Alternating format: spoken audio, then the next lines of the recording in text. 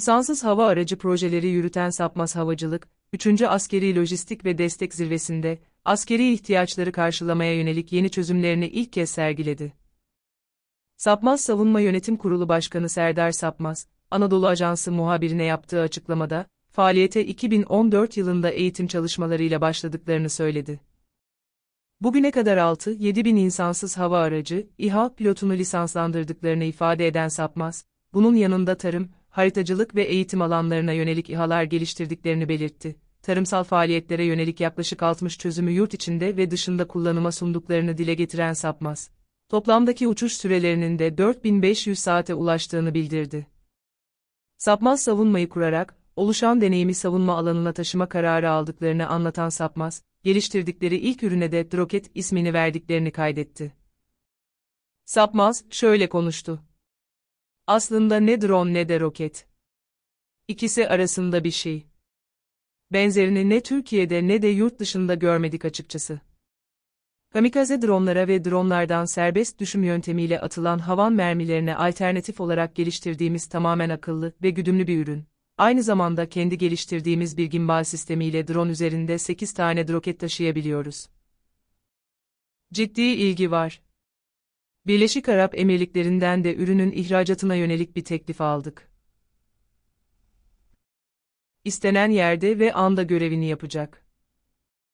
Serdar Sapmaz, dronlara son dönemde yaygın şekilde 60 milimetrelik havanların entegre edildiğini ve serbest düşüşle bırakılan bu mühimmatın yere çarparak patladığını söyledi. Sapmaz, şu değerlendirmelerde bulundu.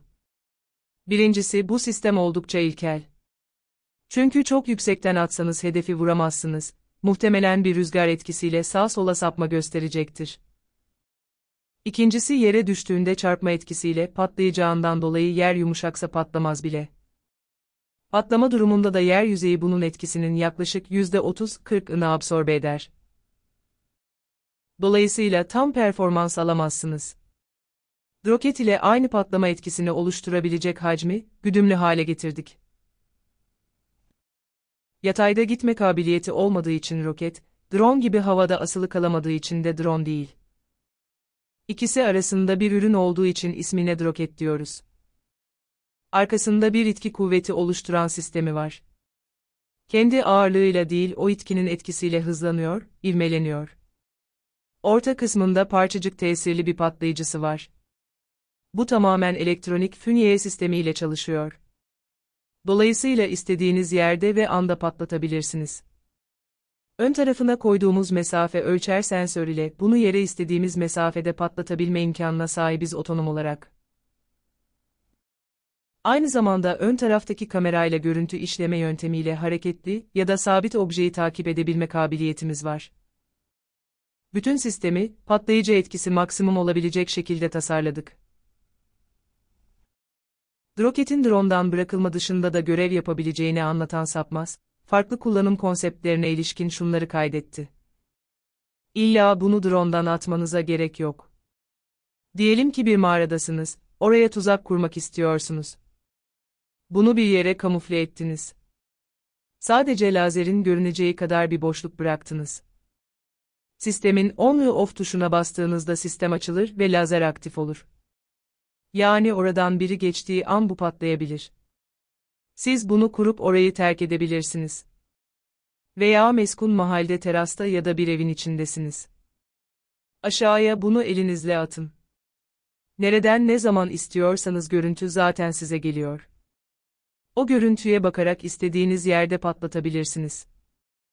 Yine bunu bir yere bırakın, yakınında herhangi bir tehdidi gördüğünüzde istediğiniz an basıp patlatabilirsiniz.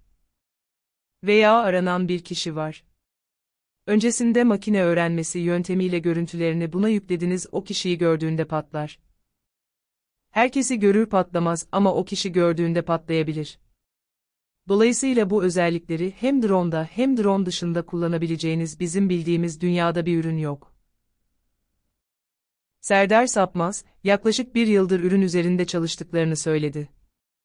Görüntü işlemeyi, işlenen görüntüyü otopilotla haberleştirerek kumanda ve kontrolü, otonom takibi tamamladıklarını bildiren Sapmaz, drone'dan fırlatmaya yönelik patenti bize ait olan bir fırlatma mekanizmasını tasarlıyoruz.